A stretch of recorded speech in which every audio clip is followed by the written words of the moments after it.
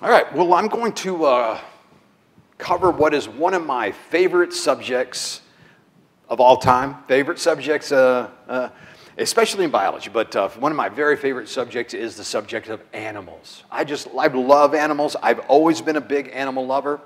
Uh, in fact, uh, animals was one of my earliest memories. Seeing, I can, as earliest memory, as far as I know, um, when I was a really small child, was going out the back door of my, uh, my parents' house and they were seeing uh, several animals outside. There was a moth on the screen door. When I went out, there's a tortoise on the porch, and then there was a bird up on the fence. My earliest memories was seeing animals. And one of my fr- first career thoughts was to have a zoo, you know? And I sketched out a zoo that included an alligator pit because apparently when you're a kid, you think alligators are in pits. I had a big pit for my alligators and stuff. I've always been a big animal lover. I, I, uh, I mean, I've had all sorts of animals. I, I, even have, right now in my classroom, I have snakes. We moved recently to, to the other campus. I had to get rid of my, but I have saltwater tanks and freshwater tanks and dogs and cats. I'll, sh- I'll show you a picture of my dogs at some point, but I, I got myself up to five dogs at one point. You know, uh, when I lived in uh, Oklahoma, I had a big, uh, big acre in Oklahoma, and I let that get a little bit out of control on me. And when I moved here, I moved here with four dogs. And uh, if you've never tried to find a rental house when you have four dogs, well, uh, I tell you what, the only house that you can get when you have four dogs is a dog house, literally. A house that, you know, uh, the only person, people that, the only house that someone will rent you when you have four dogs is a house that can't get any worse. you know, so I uh, had to suffer with that. But I love my animals. And uh, love cats just as much as dogs. Some people are like one or the other, but to me that's just uh, that's just crazy because cats are different. But yeah, I love cats as well as dogs, and and um, and I think as as we look through this, I think you'll uh, come to appreciate them even more, because animals are truly one of our most loved parts of the of the creation. So picture my dogs, no longer with me. Um, they all died of old age, but that's Willie and Eli and Chelsea when I back in my house over in Brier. And uh, we used to have a, our campus was in Lake Terrace, but um, and they are indeed one of uh, the most loved parts of the, of the creation. And, and they were a tremendous gift to us, a tremendous gift uh, from our uh, loving Father in heaven. There's, there's nothing about the creation that captures our attention more than animals to, to me. They are just wonderfully beautiful, elegant, graceful in the way they move. We just love watching them. I, re, I remember not long ago I took a, a, hike up to Lake 22. When I first moved here, when I, I went uh, did a hike up to Lake 22, and uh, this beautiful lake, one of the most pristine sights I'd ever seen in my life. Just a beautiful, crystal clear lake with the you know waters falls coming over the edge and uh, water that was so reflective you couldn't already tell where the where the sky ended and the lake began. It's just beautiful scene, beautiful scene, one of the be- most beautiful things I'd ever seen. But then a little chipmunk jumped up on the rock next to me, and before I knew it, that scene was gone, and this little chipmunk captured my attention. But I mean, most of the animals today exist uh, in distances from us, out on your intertropical rainforest or your, your, coral reefs. We don't really know how many animals there are on the earth. The, the number of species is still highly debated. Um, some argue that somewhere between one and three million, but uh, the ranges goes up all the way to 30 million because of the uncertainty of how many insects there are. The estimate on the number of insect species ranges from 1 to 30 million, so uh, could, be, uh, could be up to those kind of numbers. But it's sad that we don't see a lot of them anymore where we live because of the habitat destruction. You know, we've built our concrete uh, jungles over where they used to live, and even when you go take one of these hikes, I can go all the way up to a hike and back and never see a single animal. But uh, when you do, oh, look, at there's a deer, you know. So it's just one of the, our, our our favorite parts of the creation, for sure. Well, we're, always, we're finding new animals all the time. Uh, this is an unknown mollusk that was discovered off the coast of Monterey Bay in 2000. Uh, not really sure what it, what it was, but uh, uh speculated to be a, probably a species of nudibranchs. This is uh, also a newly discovered shark. This is a, a, shark species they called the ninja lantern shark, called the uh, ninja shark because it's pitch black and called the uh, Ninja lantern shark because it has bioluminescent structures. A lot of animals, especially animals down in the deep dark, have these structures that emit light. That's what these are. They emit light. So the purpose of these is they emit a faint blue light. So whenever this shark gets into, into shallower waters that uh, start casting a little, where you're going to get a little sunlight, that blue light that they emit helps them blend into the uh, lighter waters that you see there. Well, one of my favorite areas of animal biology is, uh, is animal behavior. Uh, because of the tremendous intelligence that is demonstrated by our observations of animal behaviors.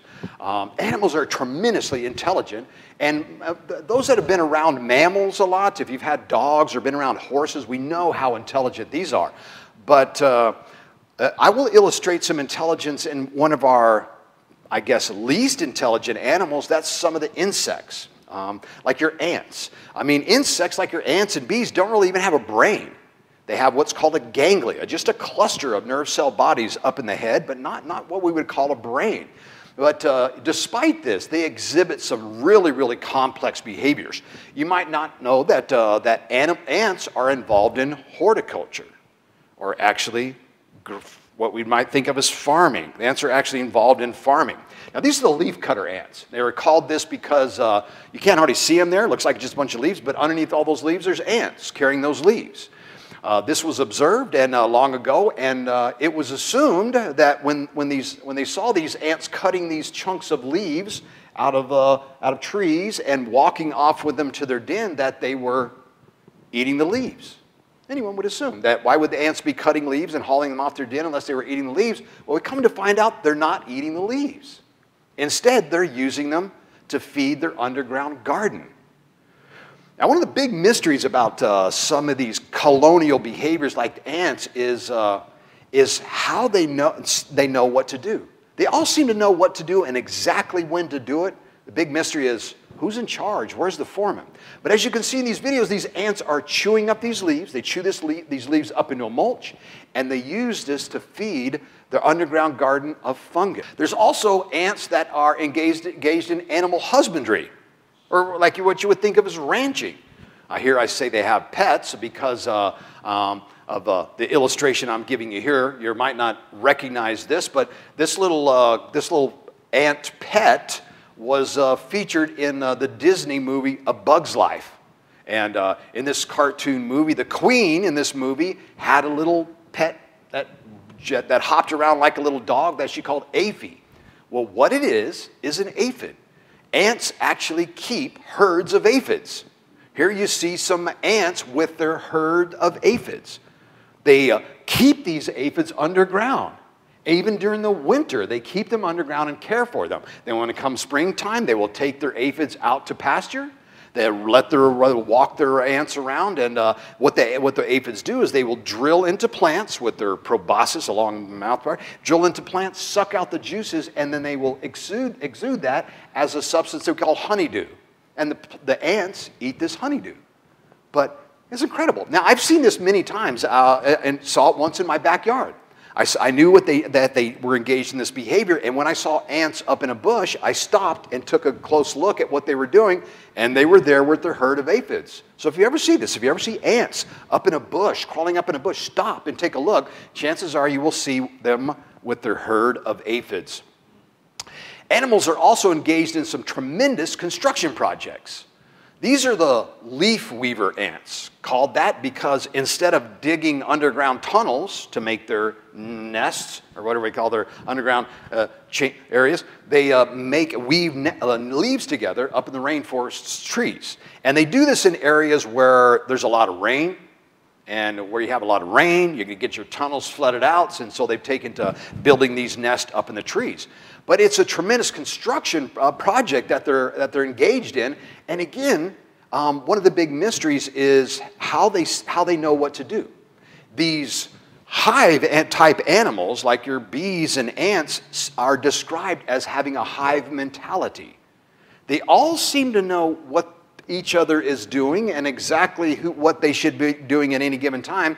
Um, I, uh, since I have an older audience, you might remember the, the, the, enemy on the Star Trek called the Borg. You know, the Borg. And so the ants are kind of behave, behave like the Borg. The Borg could all communicate telepathically. No, you, we are the Borg, and you will be assimilated. Nothing, nothing. Yeah, whatever. You got to need some sci-fi fans in here. But the Borg, anyway, ants seem to operate similar to the Borg. They seem to all know what, the, what, what each other are doing, mm, and they engage in some complex construction projects. Well, these, some ants, they know what to do. You see some ants there holding the leaves together.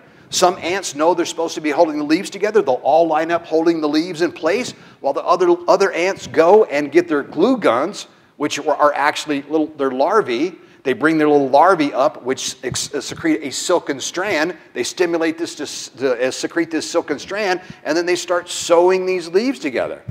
But well, who's the foreman? Some ants are holding leaves together, others are going and bringing up their larvae. And, and, but who's the foreman? Who's telling these ants what to do? Who gives them their jobs? They, they, are, they are engaged in a, a massive construction project without any apparent communication, but there is communication. There must be a communication. We just haven't yet translated it. Now, this is one of the big mysteries in animal biology is communication. We know animals are communicating. We see a lot of behavior that is communication in nature. Numerous forms of communication have been identified, which include visual displays, um, dance. You think of the dance competitions that if you ever seen the birds of paradise or field hens engage in these dance competitions. There's auditory signals. You can think of bullfrogs that croak to attract mates, or uh, monkeys that are that give warning calls to warn of predators coming. Um, even some animals even give calls that are unique to their identity. Dolphins uh, give unique calls for the individual, individual dolphins give unique calls. Some are, secrete chemical messages we call pheromones, and we know ants secrete pheromones. There's also uh, tactile or touch-based communication. You see animals doing a lot of touchy-feely, especially with their little pedipalps, their kind of antenna-like structures touching. But we, it's a, still a big mystery. Now, communication helps animals do a number of things, including coordinating behavior, but almost none of it is, none of their messages have been specifically translated as to their meaning. The only example we can point to at this time is an interesting behavior that was observed in honeybees. What you see here is a, is a honeybee that's doing a little dance on the uh, comb just inside of the doorway of its hive. And when this, was, when this was first demonstrated, it was assumed to be a mating dance, like your birds do these mating dances. But it was eventually realized that what this was was a scout bee that had located food and had returned to the hive and was communicating the location of the food to the hive. It spends several minutes on the combs near the entrance amidst a, a, a closely packed observing bees. And the communication portion of this, of the, of, the, of the dance, really is in the straight portion of the dance. Notice he's doing a figure eight. It's a little figure eight dance that they, we call the waggle, honeybee waggle dance. Well, as it does this little figure eight dance, the waggle portion of the dance communicates information. The waggle, the length of the waggle, tells the hive how far away the food is. With every second, that it's waggling equal to one kilometer. The angle that it does its little waggle is uh, tells it the direction of the food source in relation to the sun at that moment. And the intensity of the vibration is communicating information about the quality of the food. It's incredible. Man, what makes it even more incredible is that this is the only example of animal communication we've been able to translate. And yet, if a honeybee is communicating specific information, distance, direction, and actually quality of food to, uh, to its hive, what must the mammals be communicating? Your higher animals, like your mammals or birds, I mean, they are clearly engaged in communication as well. Um, we've, we we've seen behavior that is clearly communicative in nature, but we haven't yet been able to translate any of it. But they, so think about that. It's very interesting. Well, let me point you on one of my main focus, uh, focuses here is uh, to help illustrate the incredible design that we find in the animal kingdom. Incredible design that we find. Let me point, give you one example. Recently, a scientist at the University of Cambridge discovered a remarkable design feature in this tiny little insect called a leafhopper. And this was reported in the journal uh, Science just back in 2013. Well, this insect jumps as its primary mode of movement and does so over, incredible distances and, for, and speeds. Its jump is estimated to be uh, close to 12 miles per hour and reach somewhere between 500 and 700 g forces. Well, as, uh, because of this rapid rate of acceleration, even a, a, minuscule discrepancy between the firing of its legs could be catastrophic and send it into an uncontrolled spin, what we call a yaw rotation. So, a mechanism for carefully controlling the firing of its legs must exist, and researchers using high power magnification discovered the, the secret behind its powerful jumps. To accomplish this jump, this little leafhopper was designed with hind legs, the hind leg joints with gears. It has curved, cog like strips of opposing teeth that intermesh and rotate just like the mechanical gears we make. The lead researcher by the name of Malcolm Burrows stated this about its design feature. He said, The gears in the hind leg bear remarkable engineering resemblance to those found on every bicycle and inside every car gearbox. Each gear tooth has a rounded corner at the point it connects to the, to the gear strip, a feature identical to man made gears, such as bicycle gears. It's essentially a shock absorbing mechanism to stop teeth from shearing off.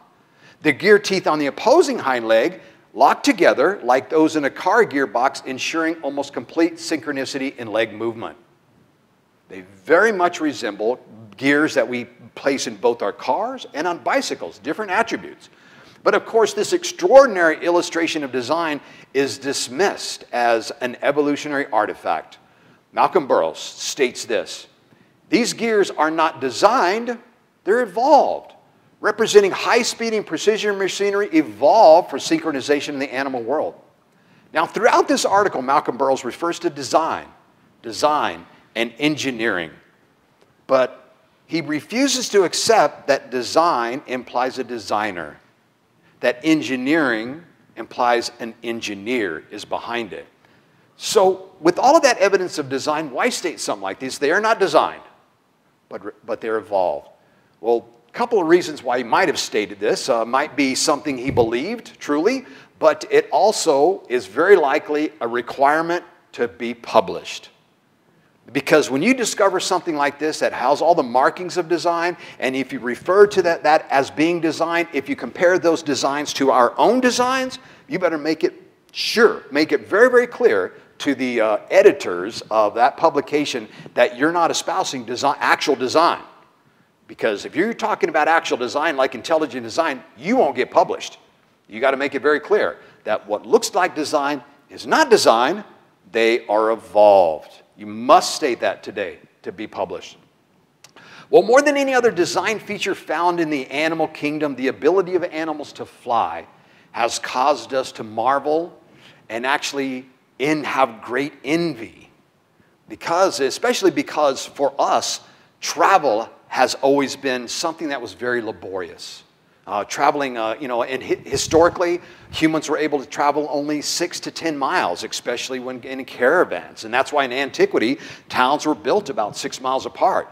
Um, and Think about getting over a pass, the great effort that it takes to get up and over a pass. Well, we can see birds catching a thermal and riding it skyward, and before you know it, it's already reaching a mountain and mountaintop, and we look at that and, and, and, and long for such an ease of movement.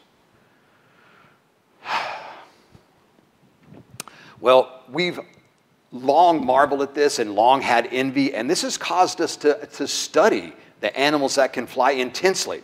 And uh, I'll, I'll uh, give some examples of this. Insects are known to, uh, in the mystery of insect flight has, uh, has, been, a great, uh, has been a great source of, uh, of investigation. And we've learned a great deal.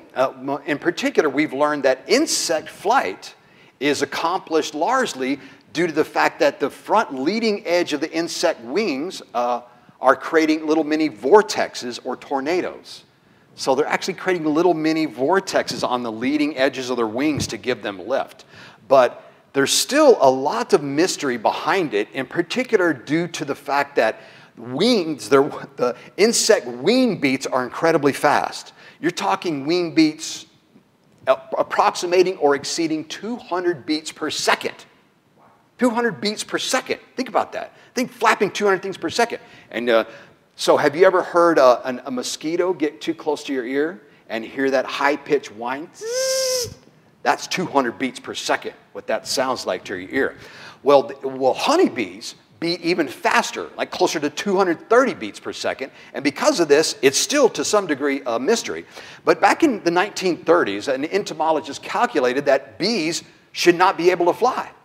They, uh, he, he said it was, they were aerodynamically impossible because of their large body size and their fast wing beat. Their wings beat uh, approximately the same speed as a fruit fly, which is only a fraction of the size of these big honeybees. He, so he said they shouldn't be able to fly.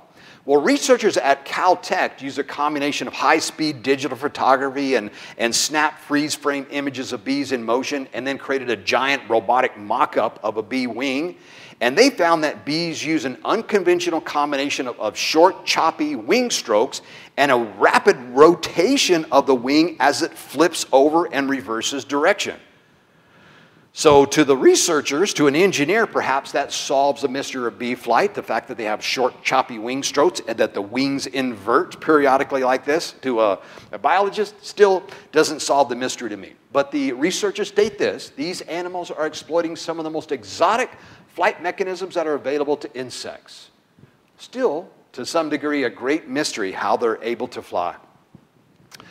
Well, because of this uh, the awe that we have with flight, we have studied bird flight as long back as we possibly could with the hope of being able to create something like that ourselves. Now, one of the most intensive studies of birds going back into antiquity was done by Leonardo da Vinci. He spent 15 years studying birds and did so with the hope that he could mimic the architecture behind bird flight. Uh, he published this in 1505 in a book titled The Codex on the Flight of Birds. And he stated a bird is an instrument operating through mechanical laws. An instrument, it is in the capacity of man to be able to make with all of its motions. Well, in an attempt to make a flying machine, Leonardo da Vinci drew several plans, including this machine shown here. He refers to as the great bird or orthoptera. Uh, other plans that he made included a helicopter that uh, had a weird spiral shape. He also uh, designed a hang glider and even a parachute. And some of these are actually engineeringly uh, uh, um, uh, good designs. They actually made his parachute and were able to get it to work and actually sent someone up and tested it. Look at, this is what the wings on the great bird would have looked like. This, these are his designs, those are his diagrams. And this is what it would look like fully fleshed out. It was designed to have a human lay down in it and pump the wings with their, with, with their legs. But at this point in time, the materials they had available were wood and canvas, heavy materials, and a person doesn't have the stamina that's really necessary to uh, pump something like that continuously and uh, you know keep it aloft you know the last thing you want to do is get 30 meters above the ground and have a cramp you know and come crashing back down. But the, the, the design is engineeringly sound. They actually made it with modern materials and attached a, a, a motor to it and were able to get the thing to uh, lift. So it was a good design. Well this practice the practice of studying God's creation and using it to improve our own designs or develop technologies is a hugely important part of human technological discovery and advancement. Countless technologies could be mentioned here. I'll give you a few. Velcro was developed after studying the way stickers would attach to, to dogs to hair.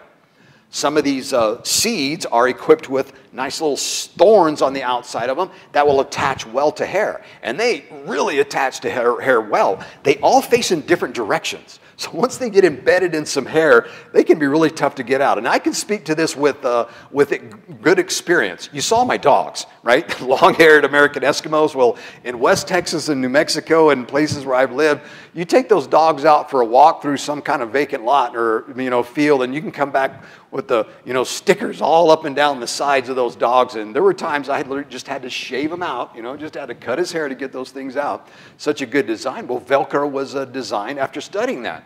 We've also studied termite mounds and have designed buildings based on the design of termite mounds. Uh, what they found is that although it can be ridiculously hot outside, you know, 120 or more degrees outside, they probe the inside of these termite mounds and it's nice, comfy 80 degrees inside. And so they studied the architecture of these termite mounds and literally used this design to build buildings. Uh, the Eastgate Center in Zimbabwe is one that was specifically designed after studying termite mounds. We've also intensely studied shark skin.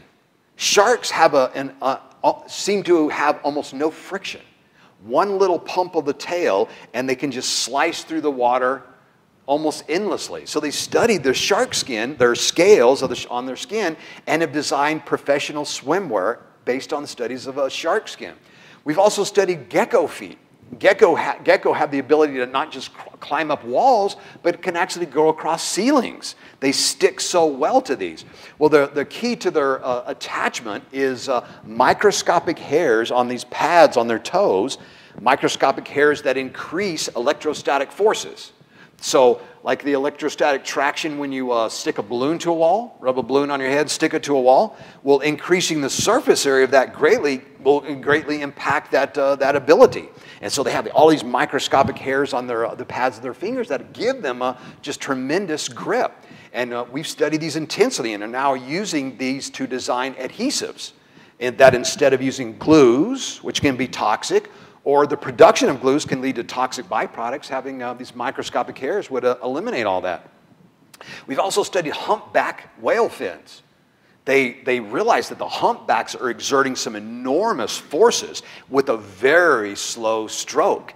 And, uh, but and the notching, if you ever have seen a humpback whale fin, they're notched, and those notchings are an engineering design with this really slow stroke, those notches help in, in, increase the force dramatically. And so they're using those to improve the uh, function of turbine blades, for example. We've, uh, we've also looked at how, wing, how bird wings morph in flight. We create these wings that are rigid structures, but uh, bird wings are constantly in motion. And if you've never uh, seen slow motion imagery of bird wings, uh, take a look at some of those. Not only do the, does the wing morph, but they actually have control over individual feathers. Individual feathers on their wings are controlled. They have muscles that control these individual feathers and can lift those. We've also intensely studied uh, the animals, that walking animals and, and such, to, to design uh, robotics for robotic designs. Um, this has uh, been a common practice, going all the way back even to sci-fi days before we were making robots. Like uh, if, you, are an old Star Wars fan, uh, you know, one of those big uh, quadruped walking robots. I, the name of it escapes me, but those were actually um, mock-ups of, of, elephants. Elephants walking along, and they used it to design to, for those robots that around Star Wars.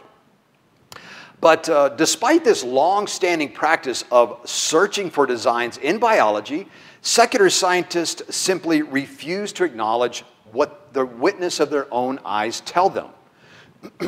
I want you to listen to a definition. Excuse me, Jeff, I forgot I did have an audio on this slide. Uh, sorry about that. I want you to listen to a, a definition of biomimicry from a scientist at the Lawrence Berkeley National Lab. Now, Lawrence Berkeley National Lab is one of our city-sized labs that we have in this country, just these absolute massive research facilities. And so this is a, scientist at Lawrence Berkeley National Lab giving a definition of biomimicry. I just want you to listen. Biomimicry is the process of understanding the designs and materials we find in biology and adapting them for human use. So over the millions and millions of years of evolution, there's tremendous wisdom and efficiency in biological systems. Notice that he refers to designs found in biology and the tremendous wisdom behind it. See, naturalists, natural scientists uh, see evidence of design, but they impart that to nature the wisdom of God. They see evidence of design, but refuse to accept that there's a designer behind it, and even describe that design as having a wisdom, but refuse to accept that there's a mind behind it. But where you see design, there's a designer. Where you see wisdom, there's a mind behind it. And that's the Word of God. The Word of God that's, that's there within all of the creation. Well, animals are so spectacularly well designed that they just cry out, I'm created. But scientists just refuse to acknowledge, again, the witness of their own eyes. And in Romans 1, Paul speaks well to this. He said, This is a good summary of what we're dealing with today. He says, For since the creation of the world, his invisible attributes, his eternal power and divine nature have been clearly seen, being understood through what has been made so that they are without excuse. And listen to this. For even though they knew God, they knew there was a creator, they did not honor him as God or give thanks, but they became futile in their speculations, and their foolish heart was darkened. Professing to be wise, they became fools. Ladies and gentlemen, that is the nature of science today. They refuse to accept the witness of their own eyes, they have, are becoming futile in their thinking, trying to give credit for such tremendous design features to blind natural processes, refusing to accept what their own eyes tell them that there is, there is abundant evidence of design in the world. So much design that, uh, professing to be wise, they have become fools indeed. Well, lobsters have an amazing ability to see in extremely dark waters. I mean, they can see in waters that are so dark and murky that we, they should not be, just not be able to see. And this has prompted some intensive studies. Well, it was found that lobsters have a compound eye very different from the, the compound eye we see in insects that give them the ability to intensify incoming light. Unlike the more common hexagonal facets that, uh, that are found in insect eyes, these uh, lobster eyes are equipped with square facets that refract light back onto the retina. Uh, this unique eye design incorporates, uh, an, is, is, incorporates an, a radial array of these, uh, of these facets that give it a 180 degree field of view. But instead of refracting light onto the retina, it reflects it from each of these individual facets, intensifying that incoming light. The individual facets are essentially tiny, square shaped tubes with walls that act as mirrors to reflect the incoming light on the exact same point in the retina, a technology known as reflective superpositioning. Well, developing technology similar to that uh, possessed by the lobster has in, in, intrigued a number of engineers since the mechanism was first made known. In 2006, UK researchers at the University of Leicester announced that they were developing an X ray telescope called the Lobster All Sky X ray Monitor. The lobster eye was copied by the Physical Optics Corporation under, uh, the, uh, under some funding by the U.S. Department of Homeland Security, they, which uh, they used to implement a design, uh, the design you've seen here, a handheld imaging device known as the LEXID, which stands for Lobster Eye X-ray imaging device. The, hand, the new handheld imaging system works by emitting low-level X-rays, which are then reflected back and focused by the lobster eye optics. The uh, Lexa device can see through walls of various thicknesses and materials and identify content, which is uh, current, and it's currently clear enough to re reveal weapons or the presence of humans even behind concrete walls. The, the potential of this has caught the uh, attention of both the U.S. Coast Guard, the U.S. Customs and Border Protection, and uh, again was funded in part by the U.S. Department of Homeland Security for this reason. Well, I want to point to a number of other very cool uh, examples of design. One of them has to do with the ability of animals to navigate, which means they're able to monitor and control their direction. Uh, now, this ability has been intensely studied, and honeybees have been found to have a remarkable ability, and particularly they're able to navigate in dense vegetation. Honeybee can go up into a bush and with very, very tight foliage can manage to uh, weave its way in and around all of this foliage without uh, getting into trouble, without running into uh, leaves and such. Well, researchers at the Australian National University have uh, shown that bees use a sophisticated motion detecting system they call optic flow. Well, this precision motion detection system is made possible by their compound eyes that have facets that point in different directions, enabling vision over a wide area. But uh, these the, such eyes are superb for detecting motion since what happens is that the object, as it moves past their field of view, is detected by individual facets one at a time, enabling them to accurately detect the speed at which an object moves past their field of view, and they use that to determine its distance. An object that moves really fast past your field of view is going to be close. Objects that move slower past your field of view are going to be further away. So it's this compound eye that was the key to this. Well, researchers at Lund University in Sweden found a completely different mechanism in the green orchid bee you see here. A completely different system. Their primary means of motion uh, mon to monitor and control their movement is in the detection of light intensity rather than motion. They, uh, they use a measure of, they use light intensity as a measure essentially of whether there's enough space to fly through foliage. Well, researchers envision using either the optic flow motion detection system or this light intense, intensity sensing technology that the green orchid bee has for drone navigation. A prototype helicopter has already been developed that can use optic flow to hover in one spot, a major achievement that outclasses remote controlled machines. Uh, when you remote control a machine, you have to have uh, continuous visuals of the machine that you're operating. And, or you have to be able to pre-program it with, uh, with a flight path or send it telemetry data. But you have to have careful control. And if something happens when it's in flight, the machine itself doesn't have the ability to make adjustments. Mm, a, a flock of birds come up and boom, you run right into a flock of birds or into a, a turbine blade or such. So these are these uh, God's designs well outclass our own designs, and we look to these to see if we can improve our own technologies. Well, Emily Baird from, the, from Lund University describes these God given na navigational technologies as simple, and yet admits that engineers still have not developed their own solutions to the challenges of navigation. They say, the, she says, the coolest thing is the fact that insects have developed simple strategies to cope with difficult problems for which engineers have still not come up with a solution. Well, that's because insects didn't develop those strategies at all. They were, they were given to them by God. A tremendous design that we have found there and long to mimic ourselves, but despite our own, uh, our own wisdom and technological achievements, uh, we find it difficult to uh, even make crude designs that can do what God's designs can do. Well, the mechanism used for bird migration has puzzled scientists for years. Now, we have found that birds and various creatures actually navigate by by different types of monitorings. Um, some uh, monitor the position of the sun as a way of navigating to know where they're going. Some uh, use the moon to navigate or uh, to migrate, excuse me, vast, vast distances. Others have been shown to use stars uh, to navigate. Planetary, uh, planetarium uh, experiments have shown that some actually use stars. and yet there are many that migrate vast distances without having ever been there before and without guides. For example, this is the bristle-thighed curlew that flies unguided and nonstop 5,000 miles from Alaska to tropical Pacific Islands every single year.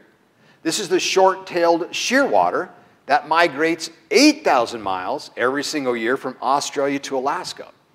Now, many birds fly guided meaning some older member of the flock is there out front, one of the more mature, members of the flock, leading the entire flock off to their roosting ground or, uh, or their feeding ground.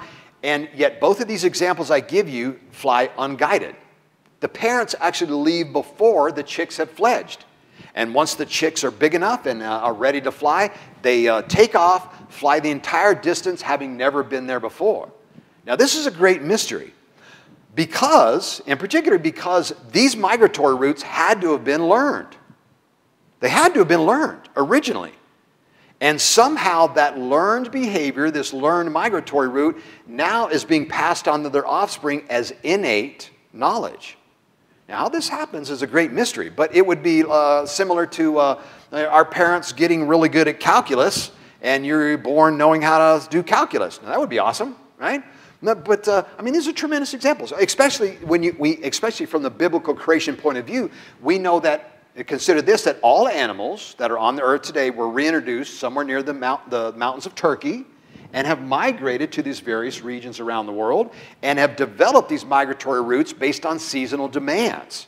They will often migrate to a very inhospitable area to lay their eggs, like very cold, very inhospitable area to lay their eggs where there are few predators and then they have to migrate back to feeding grounds after the chicks fledge. But so they've developed these migratory routes based on seasonal demands, learn these migratory routes, and now somehow they're born knowing where to go. This is incredible.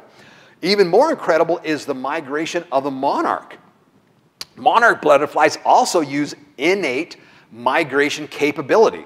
Now, all the monarchs, the monarch butterflies from all over North America, migrate down to Mexico every year. And we're talking uh, as far away as Nova Scotia. Some migrate for 3,100 miles. Now, I don't know if you've ever seen, we've all seen butterflies uh, fly, right? Well, you know, it's kind of a haphazard little floppy kind of flight that they do, and the little things manage to fly 3,100 miles with such a, you know, with such a, you know, a wing type type of wing stroke. What makes it even more incredible, though, is the fact that none of them have ever been there before. None of them. And yet they all migrate all the way down to Mexico and assemble in this one small little area down in Mexico, a, a location that wasn't discovered until the 1980s. They knew they were migrating, but didn't know where they, exactly where they were going until somewhere in the 1980s they, it was finally discovered. Massive, we're talking millions of monarchs assemble in this one small area in Mexico. Well, and there's another interesting uh, thing that happens here. The normal lifespan of the monarch butterfly is very short. Monarchs will lay their eggs in milkweed. This is a, a monarch on a milkweed on that uh, picture on uh, my, your left. That's a milkweed. They lay their eggs on milkweeds, and the caterpillars eat. And that's what caterpillars are is just eating machines. Eat, eat, eat, eat all day long until they get big enough, and then they'll form the chrysalis and uh, undergo metamorphosis. The, the butterfly hatches out, mates, and dies shortly thereafter. The, the lifespan is usually just a few weeks long. And several generations will occur during the summer while they're up in North America during the summer. One generation, another generation, even potentially a third generation. When you reach the generation that is a, getting close to winter, that generation, called the Methuselah generation, lasts for like eight or nine months. That one butterfly makes it all the way down to Mexico and all the way back after, uh, form, after forming these huge breeding colonies. Just incredible. But again, none of them have ever been there before, nor have their parents been there before. Usually it's their grandparents or even their great grandparents was the last generation to ever go down to uh, Mexico. It's incredible. And again, how this uh, learned behavior became encoded, so it has to be encoded somehow and passed on to their offspring as heritable knowledge. Well, we know that these mig learned migratory routes, how they became encoded. Um, God reminded Job that such things occur by his wisdom. Does the hawk take flight by your wisdom and, the, and spread his wings towards the south? No. God has uh, developed that ability, placed that ability in all of these animals. Well, the ability of animals to migrate uh, precisely has puzzled scientists for years. Now, migration requires two things uh, you need to know how to, you have to be able to navigate. That's being able to change direction, like the, uh, you know, the honeybee or the green orchid bee is able to do with its uh, different kinds of technologies. But you also have to know your direction of travel. You have to know your orientation. Where am I going in relation to where I am now? You have to be able to orient yourself somehow. Well, as I mentioned before, um, discoveries have shown that uh, animals use a wide variety of mechanisms. Um, some use the sun, some use the moon, some use stars. We've even discovered that, uh, that these animals that use the sun don't even have to be able to see the sun, that they appear to be detecting the polarization of sunlight. They know the direction the sunlight is coming from, even if the sun is not physically visible in the, in the sky. But lots of mechanisms have been discovered but a new mechanism was revealed by studies of homing pigeons, or what we would call carrier pigeons. Now, carrier pigeons have been used to, uh, uh, to carry messages all the way back since the time of the ancient Egyptians. Basically, if you have your little colony of carrier pigeons, you can take them and move them to a new location and they can make their way back pretty easily. And so we've been using these to carry messages, like I say, all the way back since antiquity. And in fact, they were used during both war wars. And a true story, um, true story, in fact, um, 250,000 pigeons were used by the UK forces in World War II. True story. 32 were awarded the Medal of Valor. 32 were the Medal of Valor for their service in World War II.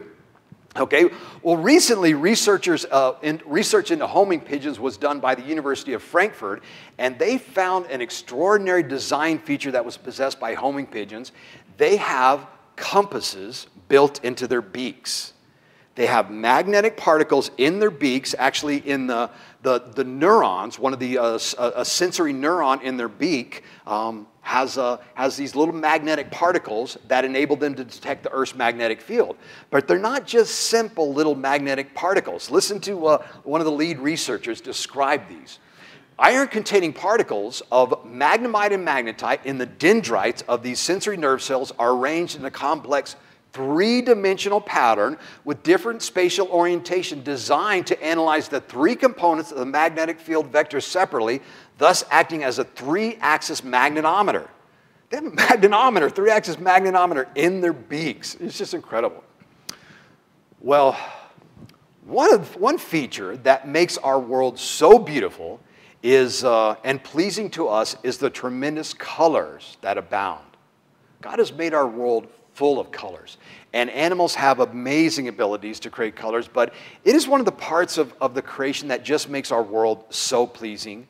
And uh, I believe He made it that way because He loves us so and wanted to make a home for us that was pleasing. You know, this, the blue that's in the sky just happens to be the color that has the greatest calming effect on us. You know, He made these colors for us. And it's the tremendous color that we see out there that, that makes it so so pleasing to us. Um, the various the colors of flowers and all of the colors you see here on that on that image are all natural colors that we see in the world. Well, colors in the creation are made variously, but the main way, the reason why different colors exist is because those particles of light we call photons um, have different wavelengths. So they're particles of light that have a wave, and they can have a longer wavelength or a shorter wavelength. If they have a longer wavelength, they're at the red end of the visible light spectrum, and if they have a shorter wavelength, they're at the blue end. Okay, so these photons can have different wavelengths and, and uh, cause them to be detected by our eyes as different colors. Okay, well, most of the objects that we see that are colored are colored because they have pigments molecules that absorb certain, wave, certain photon wavelengths and reflect others back. So the plants that are green, for example, are absorbing your reds and your blues, but they're reflecting the green back, causing them to appear green to us. Okay? So pigments are very, very normal for colors. Mm, and of the image, the image that you see here of this butterfly, the butterfly on the right has, uh, is, has pigments. That's uh, the, most of the pigment that you see there is melanin. The same, it's a ubiquitous pigment that gives us also all of our various shades of browns, all the way up to blacks, depending on the density of that melanin. But the butterfly on the left is the same butterfly. That's just the top of its wing versus the underside of its wing. Well, when they, uh, when they looked at the top of the butterfly wing, they realized that it didn't have any pigments that are making it blue. The blue of this butterfly wing is created by iridescence. Now, iridescence is the property of certain surfaces, like the soap bubble you see here, which, uh, causes, which causes them to appear to change color as the angle of view changes. So as you look different at, at, an, at a soap bubble, for example, it can look a little blue or a little purple, and uh, but, and this phenomena is generally caused by the fact that you're seeing uh, multiple reflective surfaces that uh, in a soap bubble, there's actually multiple layers there reflecting light back, causing it to look like multiple colors. Well, the blue morpho, although its, its blue is due to iridescence, we don't see the various colors like you will see in a soap, in a soap bubble. In fact, it's a very, very, very uniform shade of blue. Now, I have one in my classroom, and if you tilt it, you can definitely see some purple uh, emitted there, but it's a very bright and brilliant uniform shade of blue.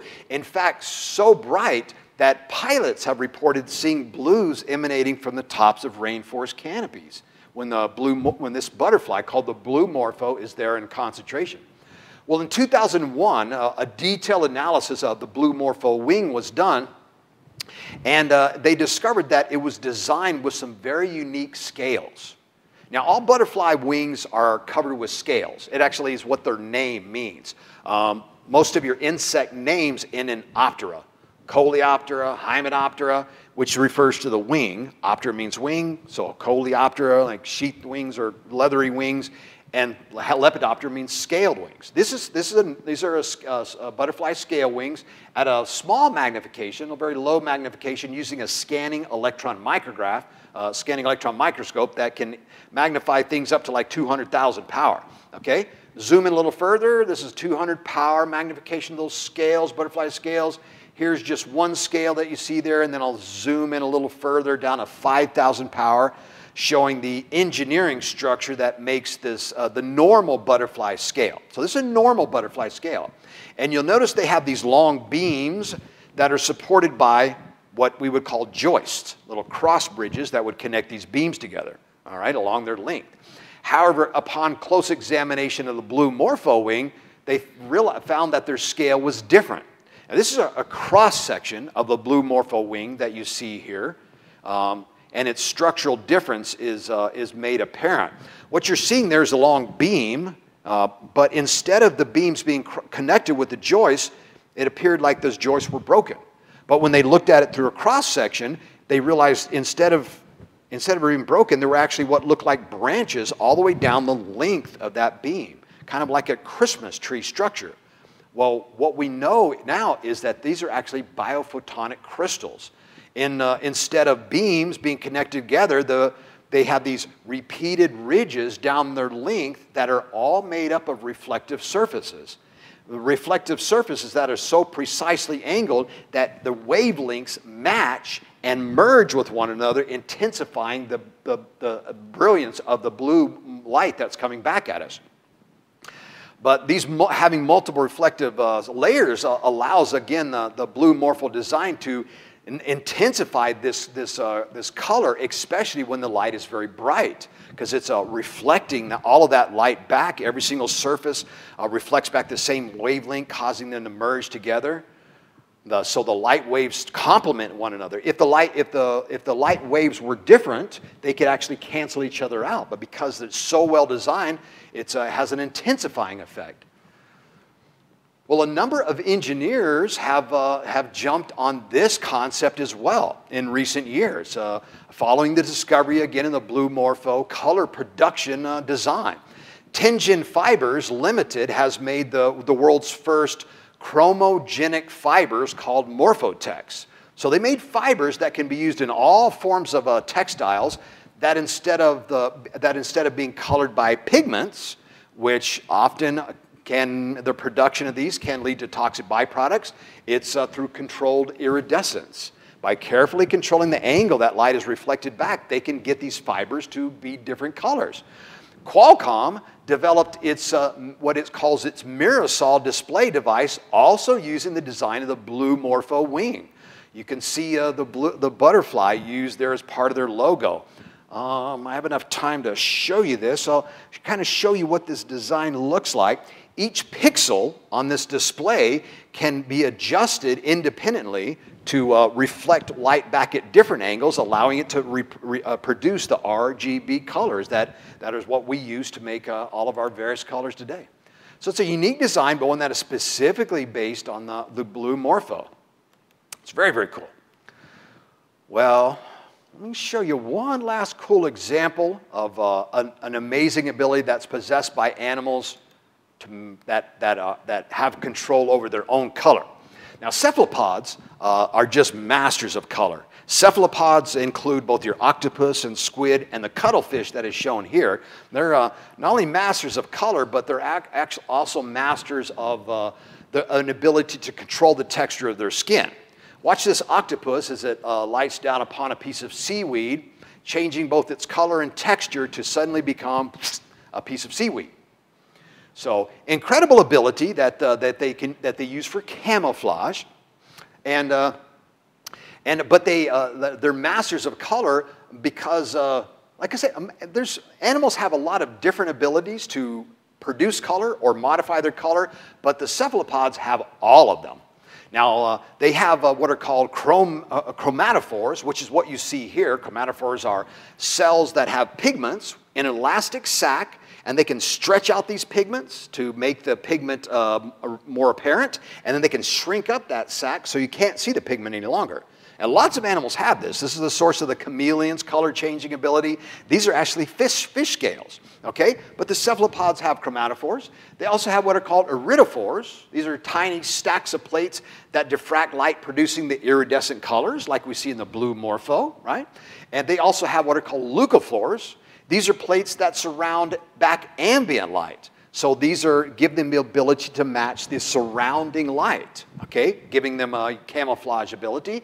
And they also have bioluminescent structures, like we uh, saw with the, the ninja lantern shark. So they have these uh, color, these uh, the ability to produce light as well. And using these, uh, the, the uh, cuttlefish has an extraordinary, uh, all the cephalopods, but the cuttlefish shown here again, has an amazing ability to, to blend into almost any environment. Well, the US military has looked into creating this kind of ability, an ability that is called active camouflage. Lots of animals can camouflage themselves. Uh, lots, of, you know, lots of animals have stripes and things that allow them to blend into grasses, or like your zebra stripes. You might not think the zebra stripes allow them to camouflage themselves because they're black and white stripe, but in a herd of zebras, they all blend together, and a predator can't pick one out versus the other. Well, uh, again, uh, the ability to uh, actively camouflage yourself, we would much, much desire because, uh, you know, oftentimes the, the landscape changes. So a soldier that goes out in a camouflage suit that's made for jungle foliage will stick out like a sore thumb if he has to venture out into a, you know, sandy area. Or, uh, you know, if you're camouflaged for white landscape and you, you end up, uh, you know, in a brown landscape, you're going to, again, stick out like a sore thumb. Well, the U.S. military has looked into active camouflage but today it only exists in, uh, in theory or uh, what we call proof of concept prototypes, uh, such as this invisibility cloak that was de developed here. In 2003, researchers at the University of Tokyo created a prototype active camouflage system that they call retroreflective protective technology. But uh, really, all they're doing here, excuse me, is uh, they're taking a recording of the image that's behind the cloak and projecting it onto the cloak. Okay, so a far cry from uh, the type of active camouflage that are used by our cephalopods. Well, animals possess a lot of amazing technologies, and, uh, and I think if we, when we consider that God spent twice as long making the animals as he did any other part of the creation, all of these amazing technologies kind of make more sense. Now, he spent one day creating just the flying creatures and sea creatures on day five. Now, consider this on day four, he created all of the astronomical bodies. The entirety of the cosmos, all of your stars, all of your planets, your galaxies, your nebula, your quasars, all these astronomical objects were created on day four. And on day five, he created this flying creatures and sea creatures. So, arguably, the flying creatures and sea creatures are alone are as complex as the entire rest of the cosmos combined. Now, consider that. Um, but I think that kind of begs a question why did he make them? Why did he make the animals? This world, and in fact, the entirety of the cosmos was made for us. Okay? We are the purpose for the creation itself. He created us in His image. To glor- the entirety of the creation was, was to glorify Him, but in creating us in His image, He gives us that ability too, to glorify Him with our very, very lives. Okay, but why did He create the animals? They are competitors for us in the ecosystem. They can be uh, predators for us. Uh, although the fear and the terror of us was put in the animals after the flood, they are afraid of us, so they will stay away from us. But they can learn not to fear us and uh, can uh, attack us when they learn that. But why did he create them? I think this is a, a important question. Spent two days on the animals. Fit the flying creatures and sea creatures on day five, the land animals on day six. Spent two days making the animals. And, uh, uh, well, today we use them for food right? I mean, that's my purpose of animals. You know, I'm a big purpose of animals. When I go to the zoo, that's my big question. I'll take my, se- my seventh graders to the zoo every year. Couldn't this year because of, you know, government shutdowns and stuff. But uh, I love going to the zoo, Woodland Park Zoo. I love animals. And so I take my students to the zoo every single year. And my big joke, you know, it's not real. I'm not saying this real. But every, whenever we come up to exhibit, my big question is, mmm, I wonder what those taste like. You know, go to the tapirs. Mmm, I wonder what the tapirs taste like. Mm. And go to the gorillas. Mmm, I wonder what gorillas taste like. I'm always, okay. But, but we, he didn't create them to be food for us in the beginning. This is specifically stated in Genesis. He says, I give you every green bearing plant, uh, plant on the face of the whole earth, and every tree that has fruit with seed in it, they will be yours for food. And to all the beasts of the earth, and all the birds of the air, and all the creatures that move along the ground, everything that has a breath of life in it, I give every green plant for food. And it was so. So they were not created to be food for us in the beginning. And in fact, they weren't food for other animals either. It's clear from the creation account that, that uh, air, not only were, the, were plants to be our food, but the food for the animals also. So those predatory behaviors began later, after the curse, perhaps worsened after the flood, which is why after the flood he put the fear and the terror of, of us and all the animals, presumably, so that you know they wouldn't eat us after the flood. We also use animals today as, a, as a commodities you know, we make things from them, uh, leather coats and belts and stuff. You know, we all probably have, a have used a little bit of leather, but that, they weren't created for that purpose in the beginning either. God Himself was the first person that made clothing out of an animal as a result of Adam and Eve's sin. He, it, he made a, skin, a, clothing of skin for Adam and Eve and clothed them. The first act of, uh, of gracious redemption after they sinned he sacrificed the first animal and lovingly clothed them in a, act, a tremendous act of forgiveness for that very first sin. But he didn't create them in the beginning to be food. He didn't create them in the beginning to be commodities for us. Again, why did he make them? Well, one reason is clearly stated in Job that they would be a witness to us. Job, this is actually Job responding. He says, But now ask the beasts and let them teach you and, and the birds of the heavens, and let them tell you, or speak to the earth, and let it teach you. And let the fish of the sea declare to you, Who among all these does not know that the hand of the Lord has done this? In whose hand is the life of every living thing and the breath of all mankind? They were created to be a witness for us. And again, uh, Paul speaks to this in Romans 1.20. For the, since the creation of the world, God's invisible qualities, his eternal power and divine nature, are clearly seen in what has been made. And I think uh, the, the animals were a big part of that, of that witness to us about God's own glories, his eternal, his eternal uh, his attributes and his and divine nature. But I think one of the main reasons that he made the animals for us is because he loves us so much. And uh, I mean, when you love someone, you want to give them things that they love, right? And there's nothing in the creation that we love more than our animals, you know?